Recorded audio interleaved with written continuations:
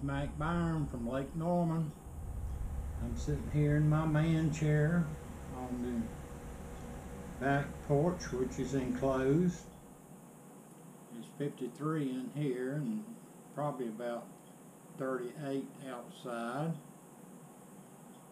The lake, I can see it right now, is fairly smooth with just a little ripple here and there from the wind, not much.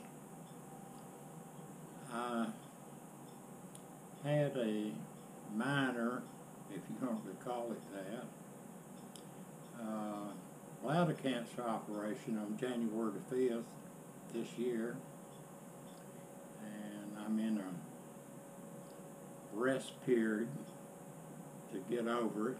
I'm Not supposed to, excuse me, do much. Can't lift over 10 pounds.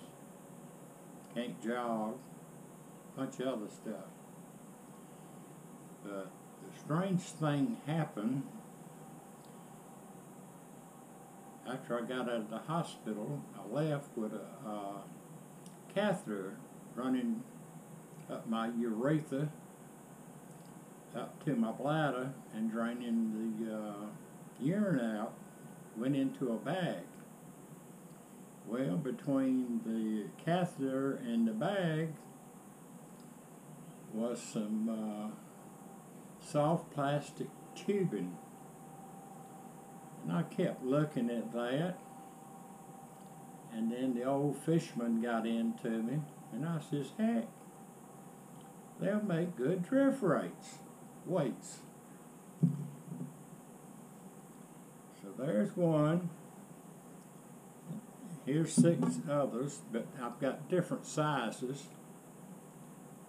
And I crimp off the end, heat it, and then take a pli pair of pliers and put a lot of pressure on it. And it will seal it.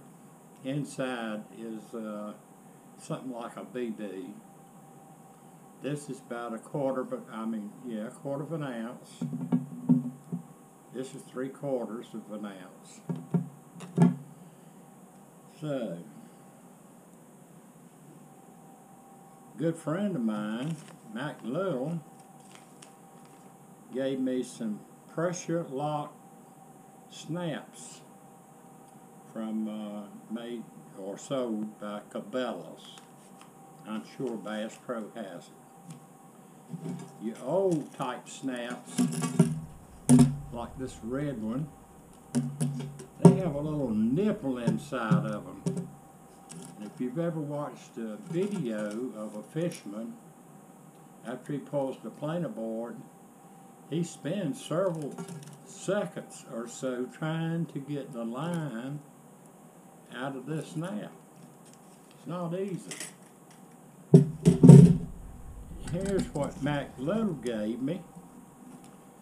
Uh, as I said, you can buy them from uh, Cabela's. Your line goes through. Let me pull this back. This is a locking thing.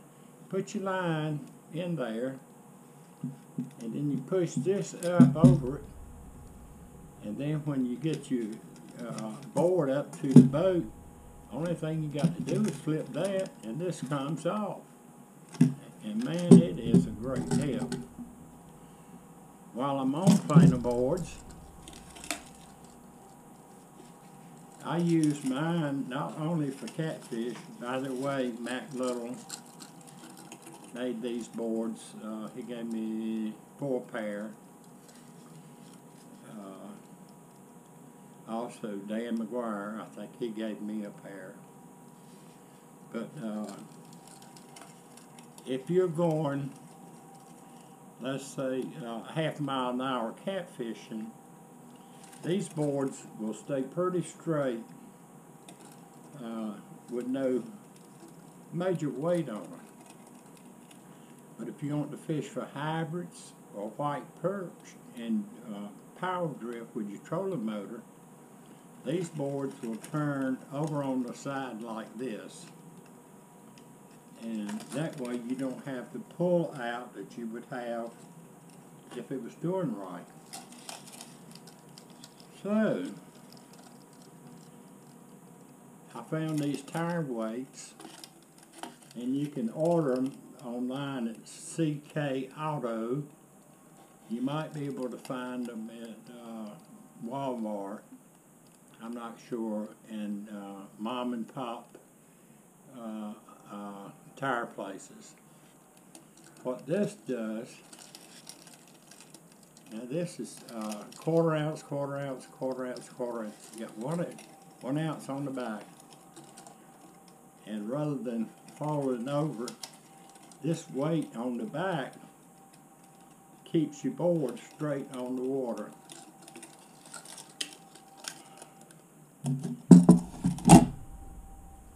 Also,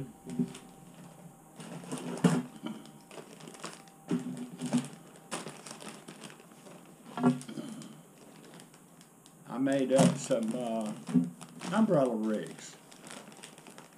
Uh,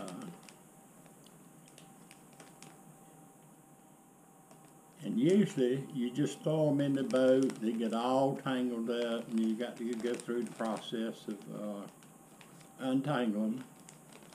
Or if some of them touch together, the rubber has some type of chemical uh, action and just melts your sulfates. I got the smart idea just using a quart Ziploc bag. They fit right in. Uh,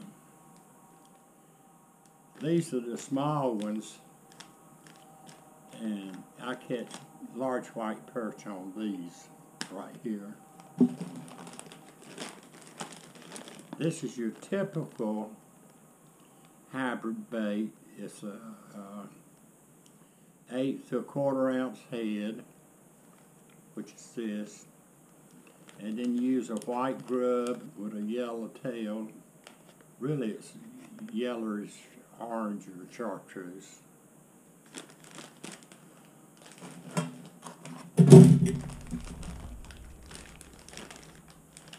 This is using something similar to what a Roadrunner is. And I try to rig my stuff up so I can catch hybrids and white perch. And you catfishermen know why I want the white perch. The big ones I fillet and eat. The small ones I save for uh, uh, catfish bait. This is another one set up for hybrids. That's all, except tell you I'm doing well. Uh, the cancer tumor was uh, carcinoma, low grade, and I do yearly checkups, uh, and everybody should do this because it was caught on the year, yearly catch-up uh, inspections. But now that I have a recent occurrence, I go on a six-month schedule, I think for three years. And I've been going through this since 2001.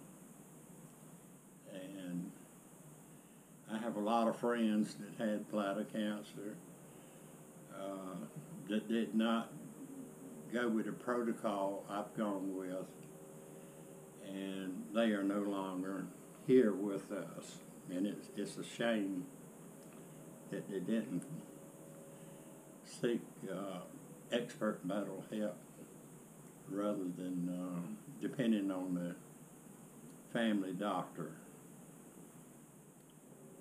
I think that's all I've got. I appreciate your time. Thank you. Bye.